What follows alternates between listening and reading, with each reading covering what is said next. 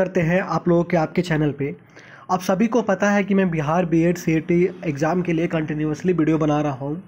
तो आज जो मैं वीडियो बनाने वाला हूँ, कल मैंने वीडियो बनाया था कि क्या मिनिमम क्वालिफिकेशन रहेगी, क्या एक्सपेक्टेड कटअप क्या क्या रहने पे डिपेंडेंट है। आज मैं बताने वाला हूँ कि जो कॉलेज की सीटें कितनी है कॉलेज में कौन से कॉलेज आपको कितने मार्क्स में मिलेंगे। तो चलिए वीडियो को स्टार्ट करते हैं। देखिए दोस्तों, सबसे पहले अगर मैं कॉलेज के बारे में बात कर लूँ तो आप सभी को पता है कि ये 2024 का डाटा दिया गया है। आपका यहाँ पे जो यूनिवर्सिटी पटना के द्वारा जो है, आर्यभट्ट यूनिवर्सिटी उसमें टोटल थर्टी थ्री कॉलेजेज हैं दोस्तों, उसमें से तीन हज़ार तीन हज़ार सीटें हैं। ठीक उसी प्रकार आपके भूपेंद्र नारायण मंडल यूनिवर्सिटी में उसके अंदर तेरह कॉलेज आते हैं। जैसे देखिए, क्या है? मैं आपको एक चीज़ बता देता हूँ। थोड़ी सी कन्फ्यूज़न हो रही होगी तेरह, तैंतीस क्या है? देखिए, मैं सिंपली एक चीज़ बता रहा हूँ आप लोगों को। कि मान लीजिए कि एक, एक बिहार बीएड ने एग्ज़ाम करवाया ठीक है?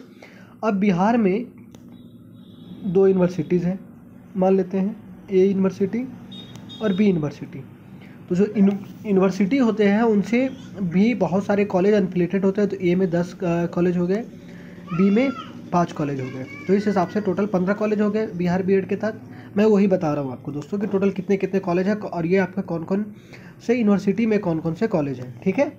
चलिए। अब यहाँ पे आगे बढ़ते हैं। आगे बढ़ के मैं बात कर लूँ आपको। जयप्रकाश यूनिवर्सिटी छपरा में टोटल बारह कॉलेजेस हैं। इसमें से बारह सौ पचास सीटें हैं। कमलेश्वर सिंह दरभंगा, संस्कृत यूनिवर्सिटी दरभंगा, जो टोटल इसमें एक ही कॉलेज है दोस्तों और इसमें टोटल हंड्रेड सीटें हैं।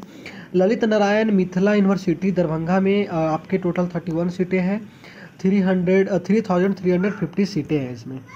पाटलिपुत्र यूनिवर्सिटी में आपके फिफ्टी फोर यूनिवर्सिटी कॉलेजेस हैं, और सिक्स थाउज़ेंड स्टूडेंट की कैपेसिटी है।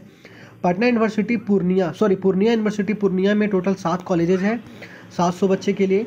तिलका मांझी भागलपुर यूनिवर्सिटी, भागलपुर में टोटल पंद्रह कॉलेज है, पंद्रह सौ बच्चे लोगों के लिए। वहीं मगध यूनिवर्सिटी के बारे में बात करें तो फोर्टी सेवन कॉलेजेस है, लगभग fifty five thousand seven hundred students के लिए। और मौलाना मजूर उल हक अरबियक पर्सन यूनिवर्सिटी पटना में टोटल तीन तीस कॉलेज है, तीन हज़ार पाँच पचास के लिए। मुंगेरपुर, मुंगेर यूनिवर्सिटी, मुंगेर में पाँच कॉलेज है, पाँच सौ में। आप एक चीज़ गौर कर रहे हो कि लगभग एक कॉलेज हंड्रेड स्टूडेंट की लगभग लगभग सीट कैपेसिटी लेके बैठा हुआ है दोस्तों, ठीक है? वहीं वीर कुंवर सिंह आरा के बारे में बात करें तो twenty college twenty one hundred fifty है। टोटल आपके जो कॉलेजेज हैं three hundred twenty five colleges हैं और टोटल जो सीटें हैं, वो आपके चौंतीस सौ सत्तर है। तो अब आपको डिसाइड कर लेना है कि इनमें से आपकी कौन सी कॉलेज आपको पसंद है। साथ ही साथ में आपको ये देखना है कि इस कॉलेज में हमारे कितने नज़दीक है, कौन मेरे कन्वेंस कन्वीनियंस हो पढ़ रहा है, ठीक है? मेरे लिए आसान पढ़ रहा है। चलिए बात कर लेते हैं कटअप के बारे में कि क्या कटअप हो सकती है इस एग्ज़ाम के बारे में। देखिए, सबसे पहले आपका सभी को पता है कि जो अनरिजर्व कैटेगरी का जो कटअप है दोस्तों, वो आपका थर्टी फाइव परसेंट लाना पड़ेगा। तो यानी कि वन ट्वेंटी में फोर्टी टू मार्क्स लाना पड़ेगा। नो नेगेटिव मार्किंग है दोस्तों, आप सभी को पता है। बाकी जो रिज़र्व कैटेगरी है, उसमें से थर्टी परसेंट लाना पड़ेगा thirty six marks total reserve category में आपका S C S T B C E B C W B C दिव्यांग कैटेगरी सारे कुछ आ गए।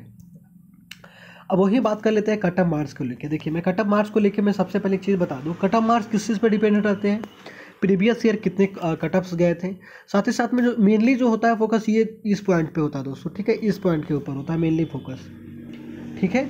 मेनली फोकस इस पॉइंट के ऊपर होता है कि बिहार बी एड सी में कित, आ, का पेपर कैसा था? पेपर का लेवल कैसा था? और क्वेश्चन कितने लोग अप्लीकेंट अपियर हुए थे? मैंने कल भी बताया था कि मान लीजिए कि अगर चौंतीस हज़ार सीटें हैं और अगर पचास हज़ार लोगों ने फॉर्म भरा तो एक सीट के पे करीब वन पॉइंट फाइव हो जाएगा। लेकिन वहीं अगर डेढ़ लाख भर दिया तो आपके लगभग फाइव के करीब हो जाएगा। तो यहाँ कंपटीशन बढ़ जाएगा दोस्तों, ठीक है? चलिए। आप सभी को पता है कि वन ट्वेंटी मार्क्स का एग्ज़ाम हो जाएगा आपका, और आपका ये जो सिलेबस है, ये सिलेबस है आपका पंद्रह क्वेश्चन आपके जनरल इंग्लिश से आएँगे, पंद्रह क्वेश्चन संस्कृत से, जनरल हिंदी से, उसके बाद पच्चीस क्वेश्चन आपके लॉजिकल रीजनिंग से चालीस क्वेश्चन जनरल अवेयरनेस पच्चीस क्वेश्चन आपके टीचर ट्रेनिंग जो एप्टीट्यूड है उससे। और मैंने ये तो बता दिया, अगर आप लोग घर बैठे तैयारी करना चाहते हैं, कहीं कोचिंग लेना नहीं चाहते हैं तो चाचू पब्लिकेशन ने एक स्टडी बुक को लॉन्च किया है, संपूर्ण स्टडी बुक है, इसमें सारे सिलेबस को कवर किया गया है दोस्तों। यहाँ पे आपको जनरल इंग्लिश आपको जनरल इंग्लिश मिल जाएगा, हिंदी मिल जाएगा, समान ज्ञान मिल जाएगा, तार्किक विश्लेषण क्षमता मिल जाएगा। साथ ही साथ में आपको विद्यालय शिक्षण अधिगम वातावरण भी मिल जाएगा। इसमें आपके छः सॉल्व पेपर भी मिल जा रहा है दोस्तों, ठीक है?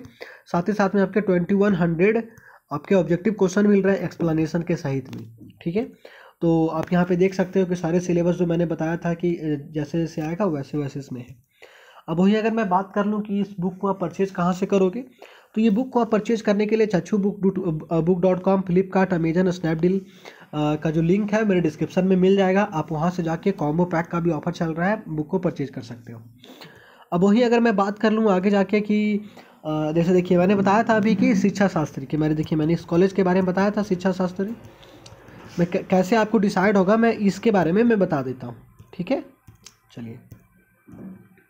देखिए यहाँ पे शिक्षा शास्त्री कॉलेज था यहाँ पे। आपके यहाँ से मैं बता रहा हूँ, देखिए। देखिए, संस्कृत शिक्षा शास्त्री कॉलेज था यहाँ पे।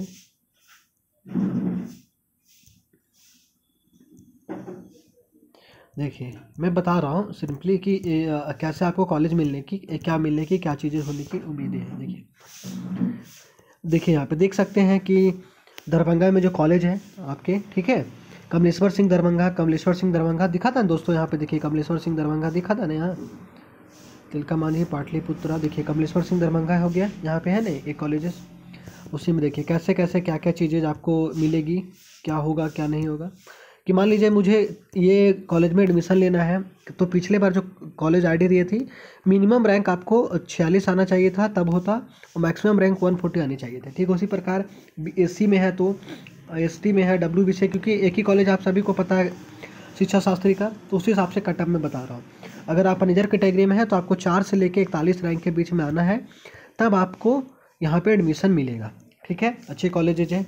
तो मुझे उम्मीद है कि आपको सारी जानकारी मिल गई होगी। आप देख सकते हो वैसे ही ईडब्ल्यूएस के बारे में भी कि ईडब्ल्यूएस में भी सेम चीज़ें हैं दोस्तों, ठीक है? अब आइए, आप यहाँ पे सारी चीज़ों को समझ चुके होंगे, मुझे उम्मीद है। तो चलिए स्टार्ट करते हैं। और आप सभी लोगों से विदा लेते हैं। थैंक